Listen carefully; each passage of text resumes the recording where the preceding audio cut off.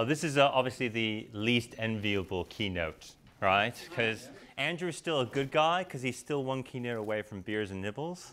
So this is always the tricky one. So I'm going to be very punchy, and um, obviously I've been very punchy with my title as well.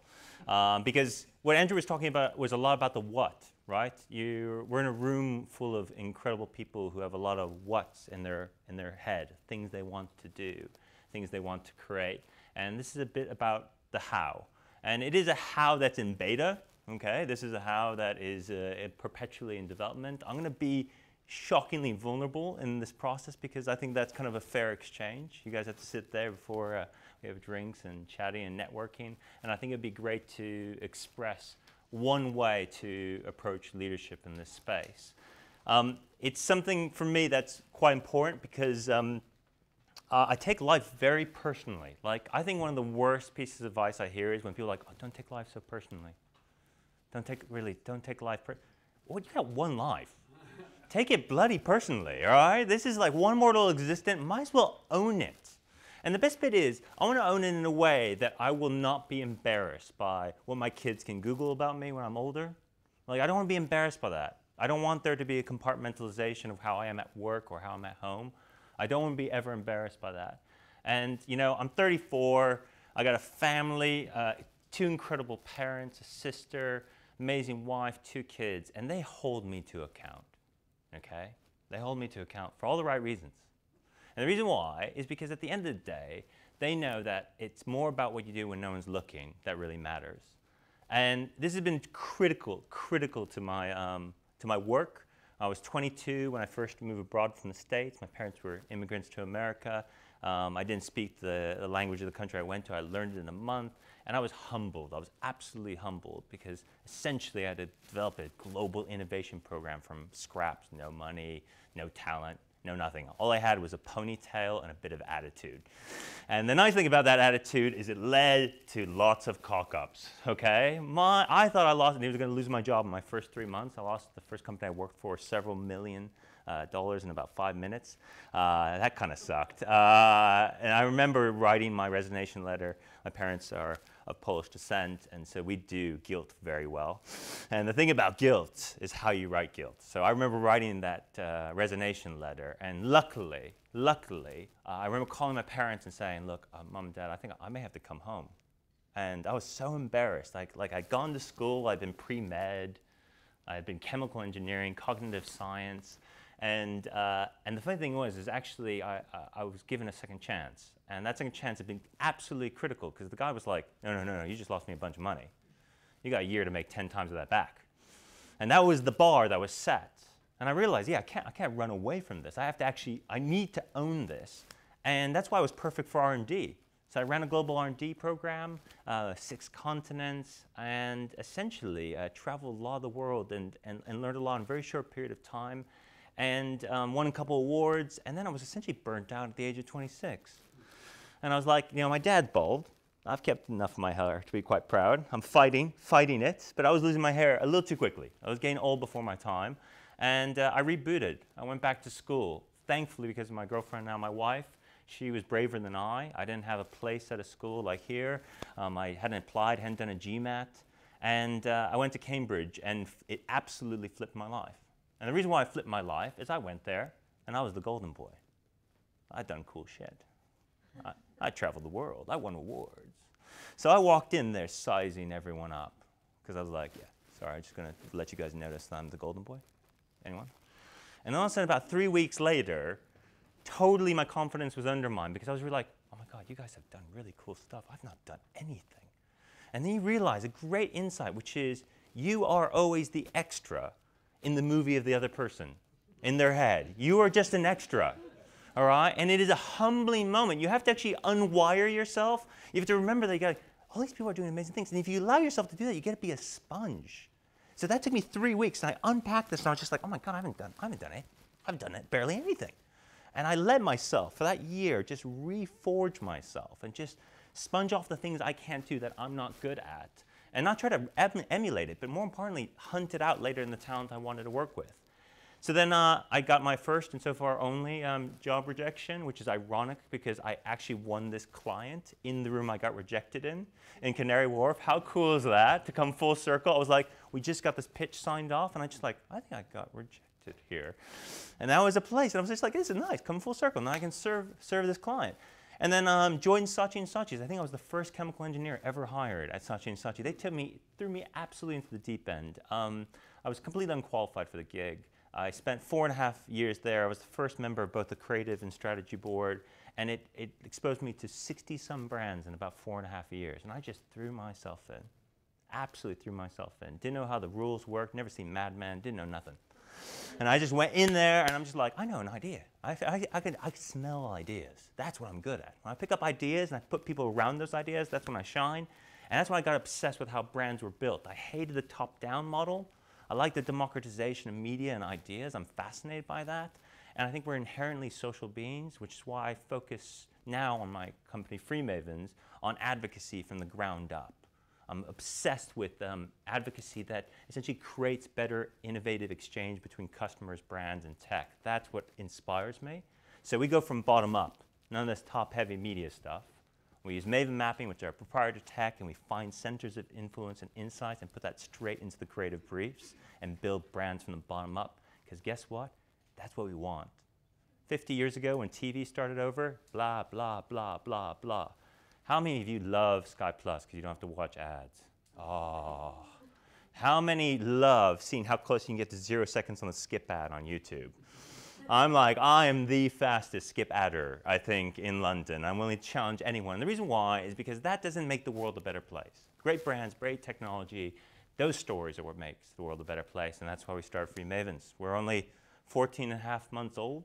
So we're in that weird growing pains period of our journey. So a lot of this is inspired from that. I've been in big corporates, I've done the thing, and now I'm doing my own thing. And you guys are going to do your own thing. So now to the nitty gritty. Um, your turn.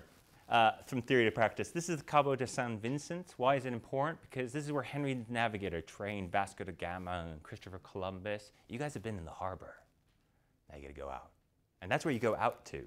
That's not the most, I mean, talk about thrown into the deep end. It's like you're in a lovely harbor in the southwest coast of Portugal and then big fucking waves. big waves, big cliffs, big danger.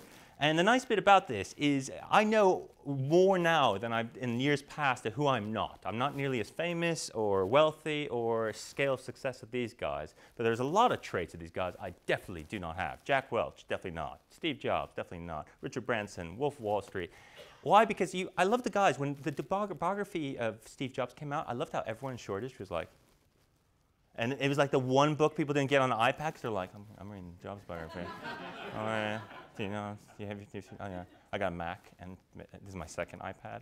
And you go, and I love these guys because you meet them and you talk with them. They be like, oh, Steve Jobs, he was amazing. He was so amazing. And I'm like, did you read the same book I read?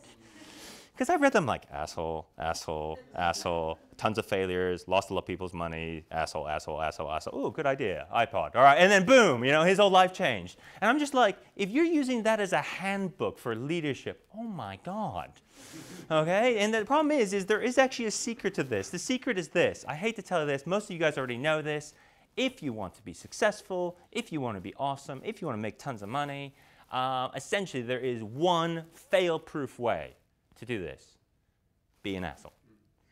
It's true. You will only be successful in business. Nothing else. Your, the rest of your life will be in ruins.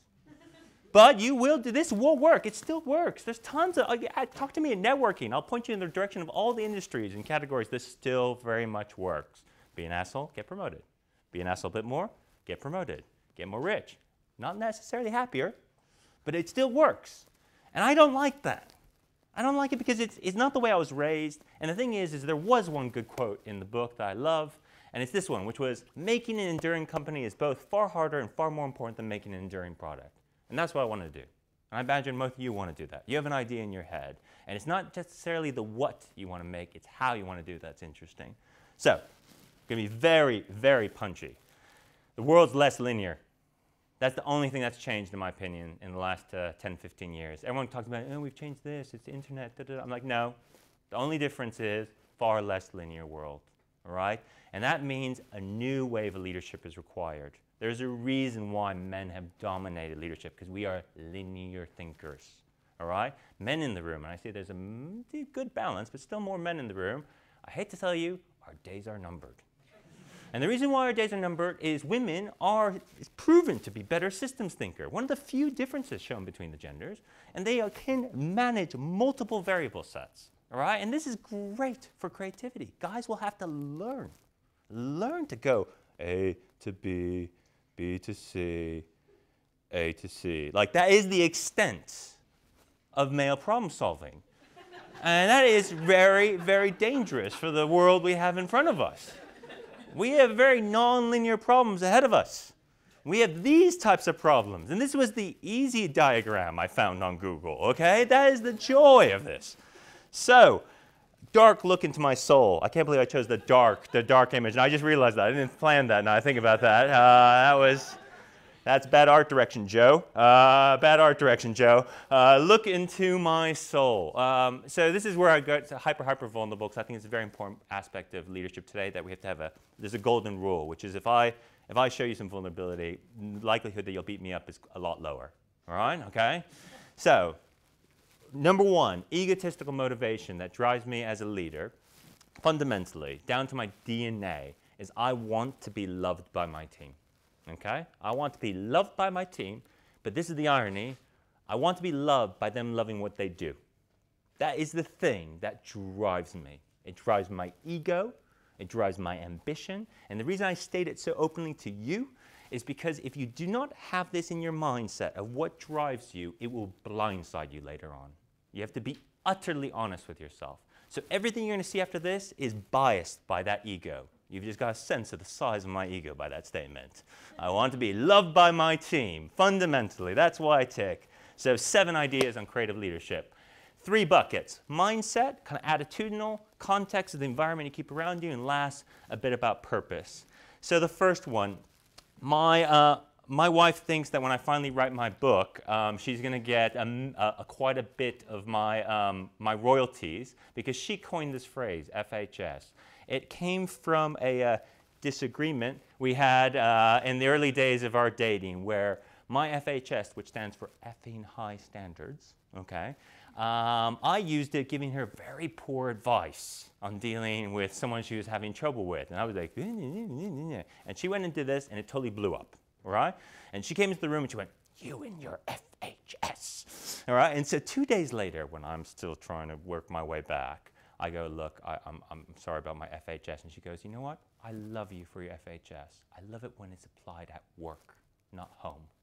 And I was like, that's actually when I'm good. When I have FHS, and this is at Free Mavens, we have FHS. And the reason why FHS is important is not about you. The idea sits in the middle. Did it reach FHS? Yes or no? No. Why? Do we run out of time? Do we have not enough money? Do we have enough energy? Why is it not FHS? And the reason what that does is it puts the idea in the center of the table. It is bigger than you. The legacy of the idea is in the team, not in an individual. And that is what FHS protects you from. I love it when the team talks about FHS. When they go, is it FHS? Do we do FHS? And it's the one thing that it's brutal honesty. Is that the best idea we could have done with resources and time? And if the answer is no, understand why not. Second thing, empathy. It's amazing. This is Paul Ekman's six photographs, right? He took this to a tribe in Java, uh, one of the Java Islands. And uh, the amazing thing was these people had no exposure to media, and they knew exactly what emotions were being shown, all right? Human, uh, in our wiring is the need to be empathetic. And I think that what drives this for creative leadership is you have to have unending, no tiredness, curiosity in the human spirit. Tomorrow, good exercise. Go into your local cash and carry Find the most esoteric magazine you can find on that news rack and buy it. All right, it's gonna be something about railways or like quilting, okay? And the reason why you're gonna buy this is that magazine's surviving. You guys don't even have a business. They have a business. And guess what? It's based on quilts. And the reason why you're going to read that is empathy, is that a great creative leader, and this is the most exhausting part of my job and the most exhausting part of the team's job, is you actually live the life of thousands of people every day. You have such a heightened sense of empathy that you literally understand their headaches, their anxieties, their ambitions. And the way you test this and forge this is by throwing yourself into passion points that make no sense to you, like quilting or model railroads, kiting. Those types of things I read, and I every so often buy a random magazine, and I just go, this is surviving. People love this. Why? What drives them? Why is this a good use of their time? Third, choices versus commitments. I hate the word commitment. Absolutely hate it. That's my two kids, Tom and Weewo. I go home nearly every Wednesday at 3 o'clock to pick them up from schools. Do you know how mental that is with a startup? All right, it is, that, it's ridiculous. All right, but I'm committed. No, I realized I wasn't committed. It sounds like a word I hate, which is committee as well. Now, why is commitment bad as a word? Great creative leaders, they never get that mistaken with choices. Commitment is asking for a pity party. I'm I got a commitment. I'm, I'm committed to my wife. No, I choose to be loyal to my wife. I choose to dedicate time to my kids. I choose it. I tell my wife, she didn't like this at first, but then she liked it once I explained it. I was just like, I mean, I'm not committed to you. I choose. I choose to be loyal. And I find that that takes you away from pity because it's hard being a leader, right? And you go, oh, I can't believe I'm committed to that client. Oh, God. And no, it's not commitment. You chose this path. This was not an accident. It was not thrust upon you. You chose it. Never get those two things mixed up. Aren't they cute? They're good mental boys, I tell you. Absolutely mental. Context. This is about the environment you work in. Um, this is probably the hardest bit to scale. So if you guys go absolutely mental with one of your ideas, the easiest thing to lose is culture. So row versus flow. Row is about results only work environment, right? It is about letting being accountable. Millennials will absolutely love this about you. If you give them a chance to own the results, you will win. But the balance is flow, which is that sense of well being. We put a lot of play into our office, not because it's cool and that's what you do in advertising agencies. It's actually great for creativity. It breaks up the results with play, breaks up the mind. Failure. I'm not going to tell you about the two phalluses up in the right hand quadrant because we accidentally sent those to a client. and the key thing about failure is allowing your best people to, there's a Portuguese word for it, desenrascado. It means to un-F oneself. I love that there's a verb for that, which is you got to give people the chance to unpick their failures. This was a one that was absolutely saved at the last minute, thankfully, to a slow broadband connection. And we got it. It's now known as Cockgate in the office, and it's been an important part of understanding failure in a, in a company. Three very simple maxims to take away with you. If you don't know what you're doing, you haven't paid any attention to this point, just remember these three things, okay? Which is one, remember it's we versus me. That's the number one thing. If you do the first bit, the second bit comes easy. No one takes credit for um, ideas in Free Freemavens because everyone knows how the ideas evolve. They know the story of the we first before the me. Second thing is how versus what. Don't get those mixed up. If you get the how right, normally the what sorts its out, out. It's how you do things. It's not the ends justify the means. And lastly, substance versus style. I've met some of you. You guys have startups. You have great ideas. And often I'll sit there and I go style, style, style, style, style, style, style, style, style. Oh, a little bit of substance. Style, style, style. Like I will never be impressed by a PowerPoint template. I'll never be impressed by a trifold board or your little mock up. I will get impressed by the substance of your idea. That is what I will fight and sweat and bleed for. All right? Not the what, the how, the substance, not the style. And I like the we versus the me. And then lastly, create a forge. Free mavens, uh, you got to forge these behaviors. They never, it never, never ends. And to prove this point, I'm actually going to invite down three free mavens. And I don't even know what they're going to say. And uh, I'm slightly running over time, but I think you should actually hear from them because I have no idea what they're going to say, so I'm as curious as you. Because they're experiencing this right now. They are being forged. And what I mean by forged is you got to have a mechanism where you yourself can unlock the greatness of yourself by unlocking in others first. And that takes a partnership. So without further ado, I'll let Joe and, and Anton um, talk a little bit about the Forge and a little bit about Free Mavens and whatever they want to talk about.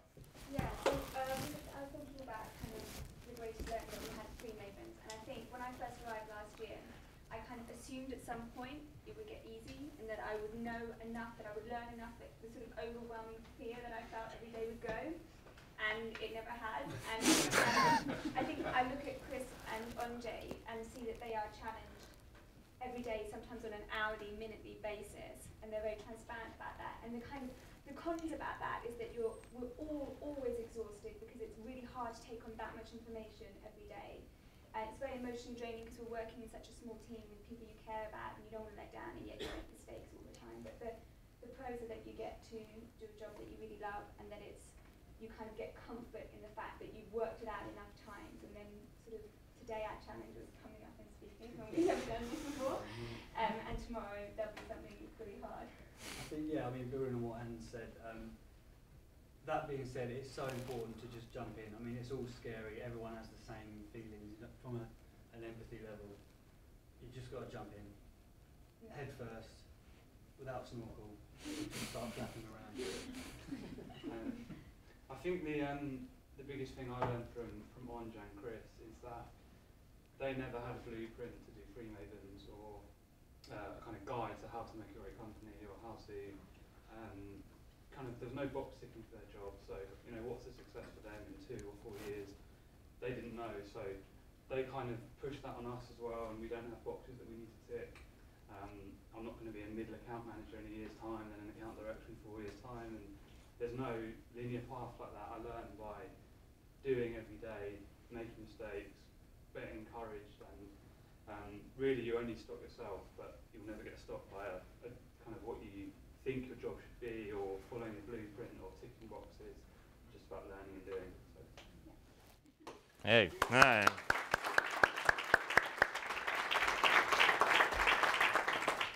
So I'll fast forward to the end.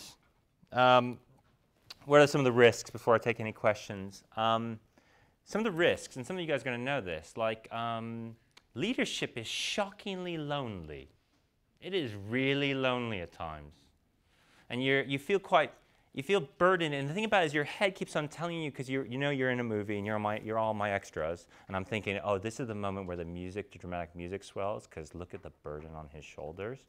And then you realize, now that, I chose this again. This is, this is my choice.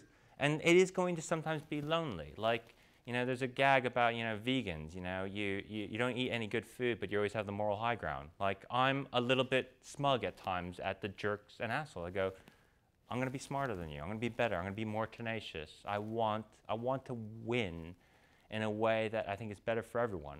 You know, I want a place where people, a better version of themselves come out. Second thing is, the hardest part about this gig in creative leadership is you'll spend so much of your time hiring, but my God, you'll spend also time firing because people will not want to leave if you create this environment. They won't want to leave. And some of the mature ones will like, they'll get their way out, they'll kind of know, but the others won't. So be ready to fire people as well. Your own bullshit. Now, I am lovingly surrounded by an incredible family my mom and dad, my sister, her husband, my wife, my friends, my kids. And um, I have people outside who call me on it. And you have to build this because if you don't do it from the very beginning, you'll get it way too late. People who will actually know your, the way you're wired and unpick it so they can actually say to you, You're not being you. You're not being you. And it has to be outside of your work environment. And you have to be dedicated to this. You have to schedule it in. You'll always try to belittle that time. It is critical, or you'll drink your own Kool Aid. All right? I'm very, very lucky that I'm surrounded by people who every so often they'll just pull me aside and they go, Andrzej, remember all that stuff you talk about? Can you go, go do that? You're really good at talking about it. Go do it. I know you can. Just go do it. And the last bit is it's building a cathedral. It never, ever ends. Ever, ever, ever, ever, ever, ever, ever. Remember, this is a choice, not a commitment. So thank you very much for your time. Um, it's been uh, obviously a pleasure to wrap up the day, and I'll take any questions you have.